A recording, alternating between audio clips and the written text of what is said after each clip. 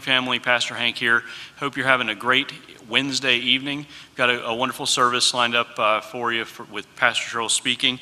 Quick uh, announcement. Just want to remind you guys next Wednesday, so a week uh, from today, the 24th, I think I should have wrote that date down, but from 11 to 1, it'll be in the bulletin. I think it already was in the bulletin, but uh, the food drive. So we're going to have another round of food offered here at the church uh, through uh, Mountaineer Food Bank is partnering with us on that.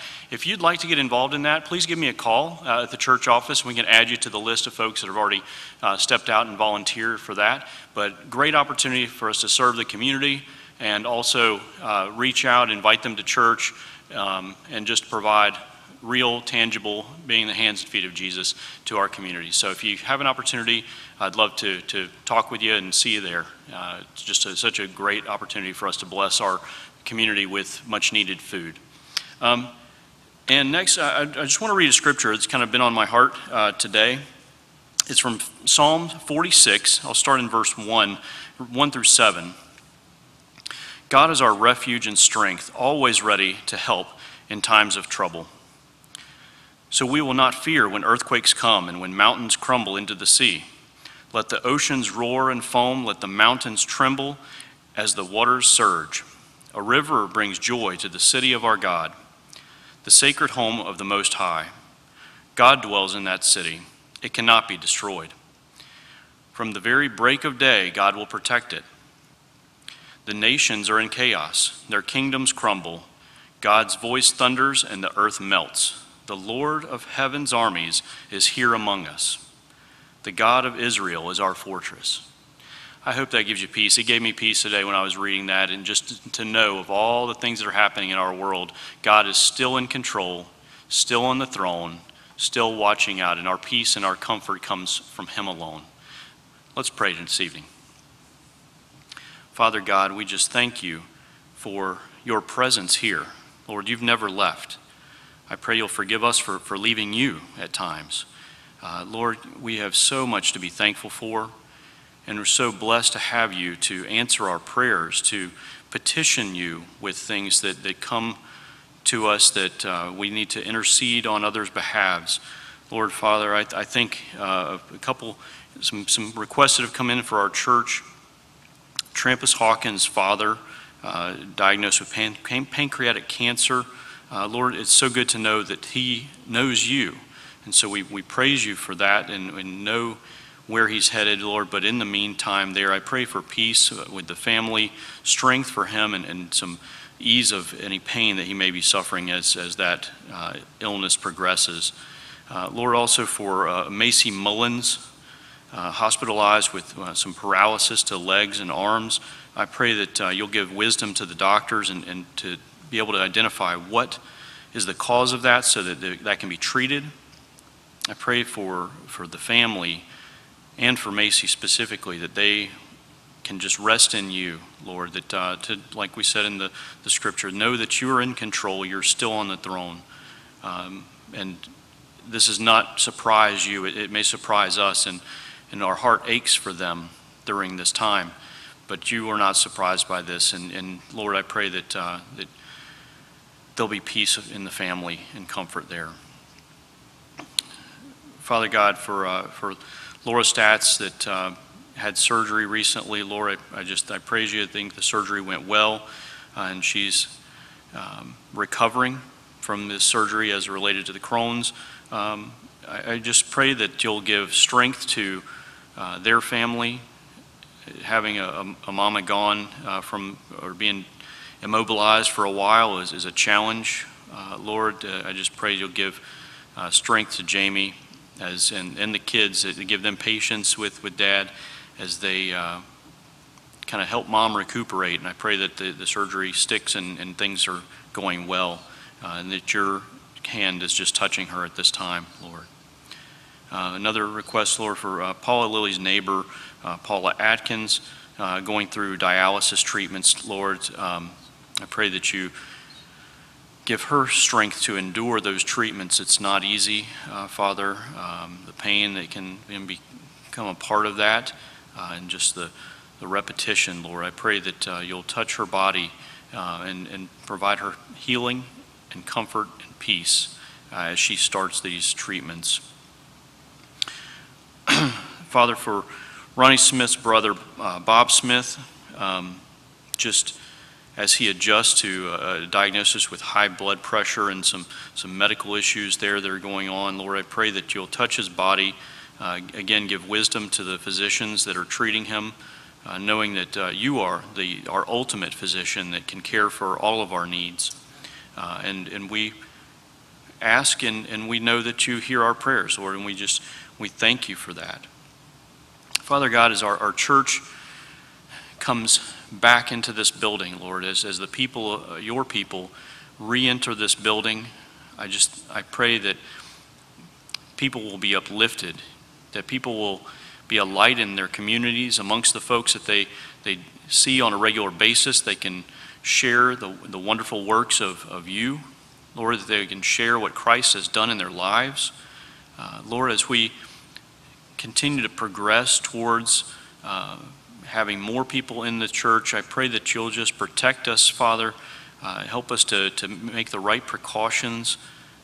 Lord, there is no perfect, safe world uh, that we live in. I pray that you'll just give us strength and wisdom in how to be cautious, um, to protect those that are, are the most vulnerable among us, that we don't do anything risky, Father, that we uh, aren't perceived to, to do anything risky as well, Lord, that the community is watching churches right now, uh, Father God, and just, just waiting. I feel like there's just this attitude of, of waiting. Uh, Father, give me peace about that. Um, forgive me if I'm, I'm wrong uh, in that, uh, my thought process there. But Father, as we begin to invite families to come back, I pray that you'll be with us as we make those decisions to, to bring back children in some capacity at some time in the future, Lord, that we make plans uh, in, in how to properly physical distance or, or whatever the um, whatever's needed, Father, but that you'll also give our people courage and strength to not operate in a sense of fear. Father, caution is good, but fear is not. We just love you. We thank you for, for not giving us a spirit of fear, but a spirit of power. Lord, ultimately, you, you've saved us. Our, our time here on earth is, is so small.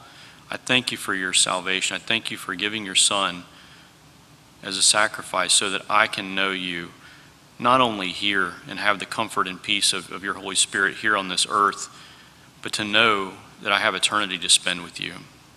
Father, right now I specifically pray for anybody who's watching this that hasn't made that decision, hasn't made the decision to, to get to know you in a personal way, to have a personal relationship with your Son, Jesus Christ.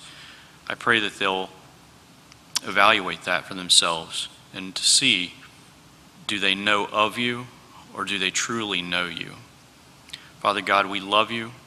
Help us to, to be a light in our communities, like I mentioned, Father. Just that we can bring others to a place that they can get to know you as I do.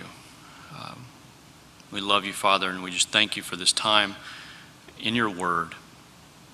In your precious, holy Son, Jesus Christ's name. Amen.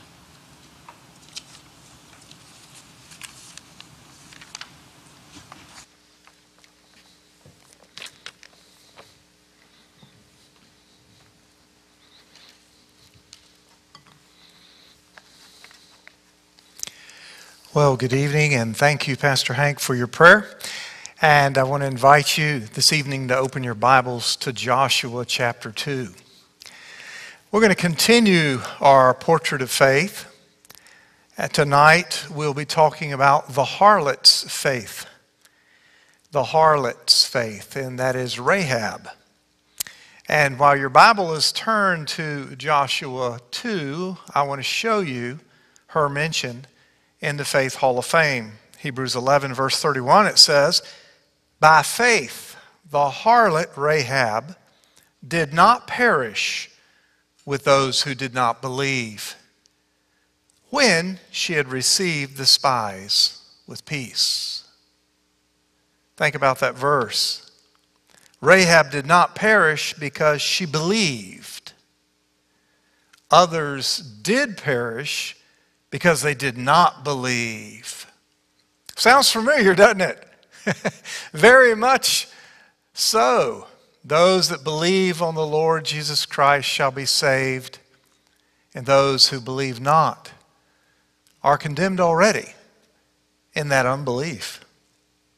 Well, I think this is just an amazing account in Joshua chapter 2 of Rahab's faith because I, I ask you to think is it apparent to you what makes Rahab's faith possible? If it didn't just shout at you, then tune in real close because something made Rahab's faith possible. And that'll be a bold conclusion, in our brief Bible study tonight is how in the world could Rahab have such wonderful faith? Something made it possible. And we want to highlight that tonight as well. So, Joshua chapter 2, let me give us the storyline. Beginning in verse number 1, the Bible says, Now Joshua, the son of Nun, sent out two men from Acacia Grove to spy secretly, saying, Go view the land, especially Jericho. So they went and came to the house of a harlot named Rahab and lodged there. Let's go to verse number four. Then the woman took the two men and hid them. Why did she do that? Well, because a search uh, was underway from the local leadership there in Jericho, and they were looking for these two men. And Rahab's door was knocked on. So she took the two men and hid them. So she said, Yes, the men came to me, but I did not know where they were from. And it happened, as the gate was being shut when it was dark, that the men went out. Where the men went, I do not know. Pursue them quickly for you may overtake them. And the whole time she was telling that lie to the guards, the two men were on her rooftop underneath a pile of stalks of flax, which was being dried out in the sun on the rooftop, and they were hiding there. Well, there's our storyline. Let's unpack this just a little bit. I've got the major points in the next section of reading, so I won't take long here. Why spies? Why did Joshua, the general of Israel, even send out spies? Because if you remember, at this point, Joshua is planning a conventional attack on Jericho. It isn't until chapter 5 that he gets his marching orders from the angel of the Lord that it will be an unconventional attack. So he sends out two spies. Why only two? Well, a little humor here tonight that perhaps there was an aversion to a larger number. You know, maybe something about 10 negative reports and 40 years of complication in the wilderness. He sent only two. I find that ironic that there were only two positive reports earlier, and he sent two spies. Um, why a harlot's house? I mean, for goodness sake, come on. These are God's people, and this is the expansion. We understand God is going to, He has withheld judgment for some 800 years on the Canaanites.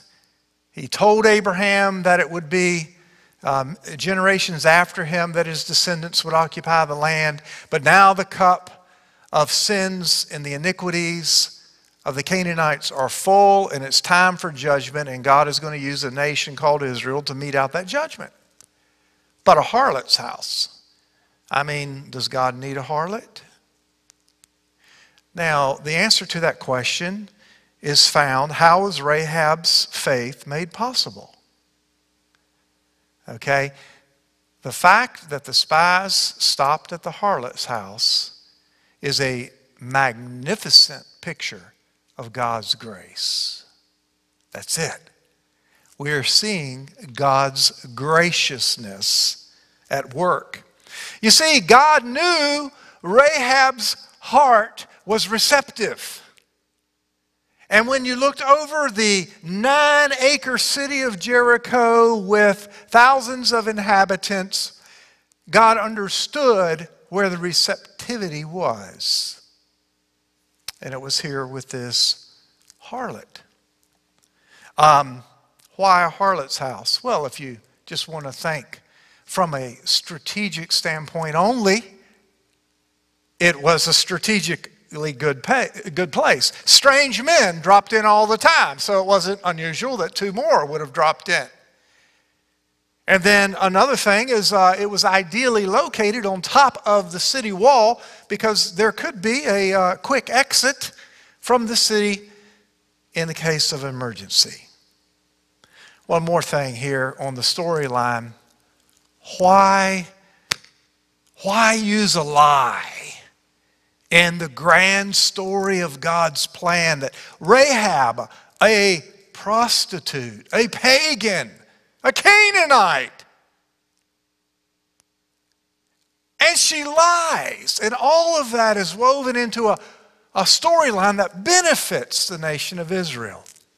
Oh, I want to look right at you tonight and say, God's grace is amazing. Exceedingly beyond where our grace ends, God's grace will keep going to those dark corners. And this is a picture of how great and deep God's grace is. You know, Rahab's lie is recorded here in Joshua, but not in Hebrews 11. Her lie is recorded one time, her faith is recorded two times. We should know that. We must distinguish when we read the Bible between what God condones and what he records. Rahab is never honored for her lie, it was a sin. God could have saved the spies some other way. Her lie was not overlooked, but I can assure you of something it was forgiven. God does not demand our judgment be perfect in every situation. And you know, as our walk in faith and our walk with Christ matures, so does our judgment. And here we have a lady right at the beginning of a faith journey in the true and living God, and it's mixed her her story of her first initial step of faith is mixed with a lie. Let's not let that confuse us. Aren't you glad God doesn't expect perfection before he hears a sinner's cry for help and mercy? I am so wonderful. It's amazing grace. That's why we have a harlot's house mentioned in this story, because God saves sinners. Matter of fact, it's only sinners that God saves. Now, let's get on to the meat of the lesson tonight Rahab's confession. This is her confession of who God is. And before I read it to you, I wanted to say I find that her confession is amazing. Obviously, she Googled the nation Israel an uprising world power, up and rising world power. Obviously, she read in the uh, Middle Eastern Times newspaper that the Red Seas had been parted. I mean, she was up on her current affairs and had been a diligent student. And her confession reveals to us she knew a lot. And I think it's interesting. How did she know what she knew? I think God's capable of getting his witness out, even across national boundaries during confusing times. So let's look at Rahab's confession. In chapter 2, beginning now in verse number 8, the Bible says, Now before the two spies lay down, now, what are we referring to? They went up to the rooftop to hide from the security forces that came to the door. They were underneath the stalks of flax.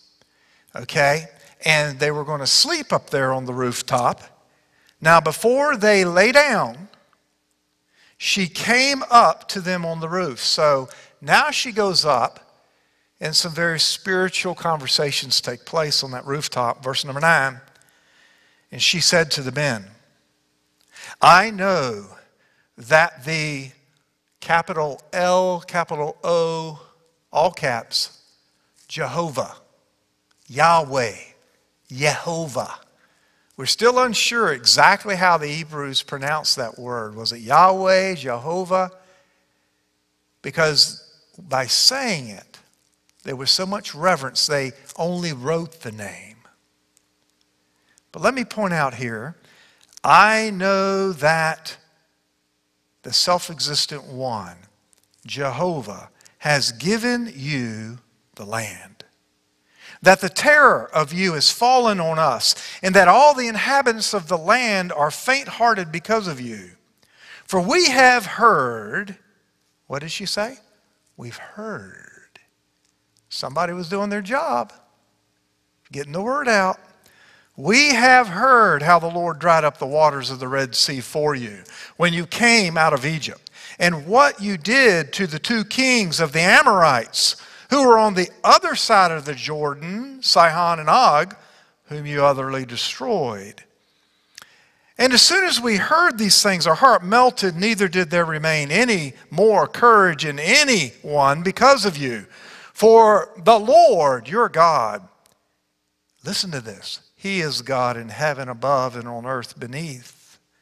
Now, therefore, I beg you, swear to me by Jehovah, since you have shown kindness, that you will, all, since I have shown kindness, that you will also show kindness to my father's house and give me a true token and spare my father and my mother, my brothers and my sisters, and all that they have, and deliver our lives from death.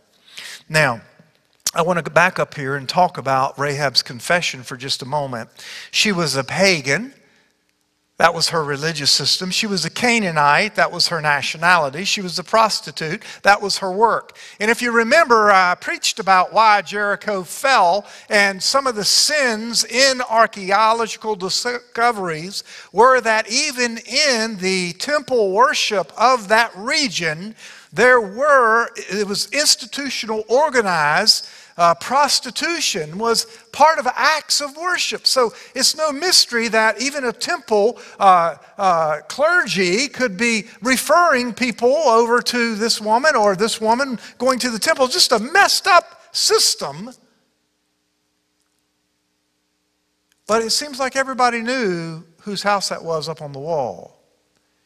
And I don't know that this prostitution carried the same stigma it does today because it was connected sometimes with acts of worship. Do you know, now here's my point. A pagan from the wrong nation, a nation that's under judgment of God, and the wrong profession. We today have to be careful not to prejudge a person's interest in God simply based upon their lifestyle or their appearance. I am finding increasingly that more and more people are simply ignorant of the claims of Scripture and the identity of the true and living God. They do not know Him. And if we were to tell them the truths of Scripture, the wonderful works of God, their minds can be amazed, as Rahab's was, that the Red Seas were dried up and that other nations had been dealt with by Jehovah. See, um, perhaps Rahab learned in bits and pieces from men that were coming and going from her house, um, that establishment that she had. Maybe she had learned about the fame of Israel from some of those people that visited her house. All we know is she had heard and she believed. You know, want you to notice a few things about verse number about her confession. Here we go. Rahab's confession. Verse 9 says, Jehovah has given you the land. That, that implies a lot. 800 years earlier, Abraham was told, uh, some, some 800 give or plus years, Abraham was given a land covenant. Genesis 17, verse 7. And somehow, Rahab had understood that all the land of the Canaanites was deeded by Jehovah to the children of Israel. I know that Jehovah has given you the land. There had been some witnessing going on, folks. There had been some talk, and it had crossed national boundaries. And God has a way of putting sinners on notice and has a way of saying, listen, come to me while you can. Kneel before me. Become my child. Come into my family. He is amazing with his grace. Do you know, um, uh, verse number 10 Rahab had heard of the mighty, wonderful works of God. And I want to point out, she said, We have heard what happened in Egypt. And I would say to you, remember when we started our series in the book of Acts? And we had a few very special services, I thought, where we were really communicating the principles of God's Word that this church has to um, rediscover. Every church needs to rediscover. And verse number to chapter number two, it said that the witnesses at Pentecost were speaking the wonderful works of God, and everybody was hearing it in their own language. Speak the wonderful works of God. Because that was the initial witness Rahab heard that gave her the ability to have faith one day. We have to speak of the wonderful works of God, both of what He's done in our lives, our friends' lives, our church family, and what He's done in Scripture. Speak the wonderful works of God. Well, what else about her confession? In verse number 11, I'm amazed that Rahab, the harlot, she knew God's name, address, and a unique description of God in verse number 11. She called him by name, Jehovah. She knew his address in heaven, and then she gave a very unique description that he is sovereign in control of heaven above and earth beneath. That's pretty good for a pagan. That's an amazing start for a lady of this um, influence, I should say. God's grace is amazing. Look at verse 12. What does she do? She begs. She asks, begs, entreats to be included, and she invokes Jehovah's name again. In other words, everything she had heard about Jehovah did not preclude that he could have mercy on her. She understood that there was a way for her to plead and be received, and she was asking right there. And she invoked Jehovah's name and said, I beg of you, I want to be included and I want my family to be included. Wow. I think Rahab's confession is pretty amazing. Where did her faith come from? Think about it. Look at verse number 21 now. As we look at Rahab, we talked about her confession and what she admitted about and agreed with God about, but now let's look at her faith. In verse number 21, you see at the end of the verse, it says that she bound the scarlet cord in the window. And this red cord was used to let the spies out of the window down the wall, but they had told her, when we come back and besiege the city, that you've got to have this in the, in the window. And everybody that's going to be protected has to be in your house. And you've got to have that in the window, and that is part of the deal. And what a symbolism of the uh, red cord, you know, crimson red, um, like the blood of Christ. And that is the deal for all sinners. And you have to be inside the covenant as her family came inside the house. Well, Rahab uh, showed her faith by tying the cord in the window. But then let me hasten to the spies, the spies' report. They leave Rahab's house and they go back to Joshua after all of this experience. And look at verse number 24. Let me read it for you. Um, did they give a vacillating report? Did they talk about, oh, potential negatives over here? Uh, we have to do a risk analysis and calculate carefully, and that we got this outcome, this out possibility, possibility. Nobody had a war plan yet. The angel of the Lord hadn't come to Joshua and gave him the steps of battle yet. But these two spies, what did they do? They reported the wonderful works of God that he did on that journey. Look at verse 24. And they said to Joshua, Truly the Lord has delivered all the land into our hands, for indeed all the inhabitants of the country are faint hearted because of us. They repeated Rahab's assessment of the other societies around them. Wow. But you know, they perceived God was working even in a prostitute's heart, and that faith was germinating, and that that lady had a true perspective that there was a dread and a fear because they nations had been put on notice that the true and living God was going to bring judgment. And it was time to call people to repentance. Well, Rahab was saved when her contemporaries all around her perished. Just her household only. Isn't it sad that the same warning and the same news of God's people and the same beautiful gospel message of Jesus Christ can go out to tens of thousands? And yet there was just one family that picked up that warning and came to faith. Well, let me wrap this up.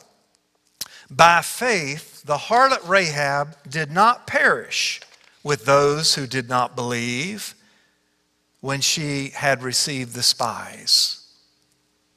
You know, this message on Rahab's faith points back to what made her faith possible, and that is God's grace. When I say God's grace, my mind goes to another contemporary story. Oh, not of a prostitute, but someone probably more sinful, a slave trader. And John Newton lived in the 1700s. He was in the British Navy. He struggled to stay in the Navy. He was disciplined several times. He had a hard time um, following orders and guidelines. Finally, later in his career, he was in charge of a slave ship, and he ran slaves back and forth for the British government.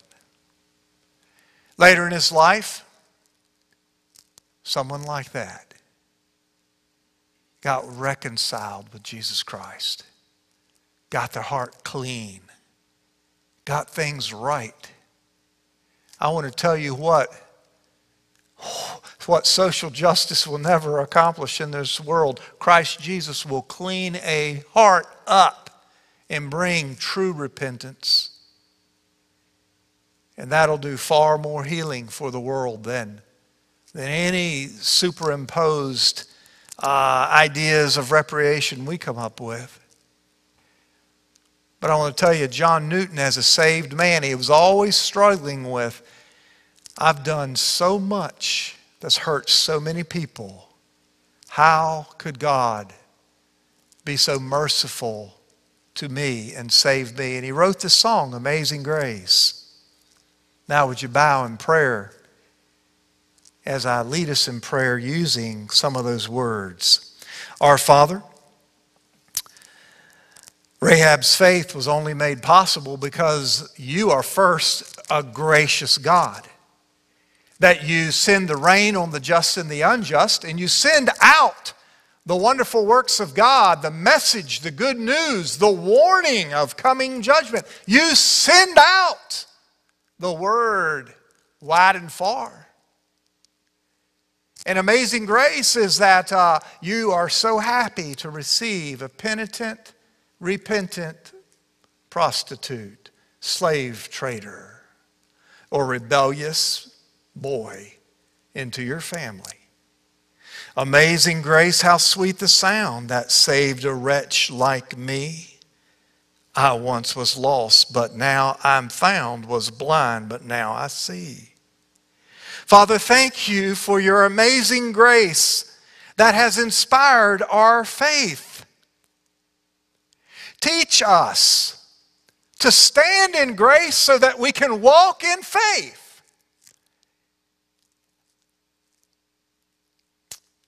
Lord, thank you. Because the more we understand your grace, the more we can trust your promises and stand and walk in faith. So thank you for including Rahab in the text tonight. What a portrait of faith. Thank you for your amazing grace. In Jesus' name, amen. Well, God bless you. Hope you enjoyed the Bible study. And God willing, we'll see you this Sunday. Have a good night.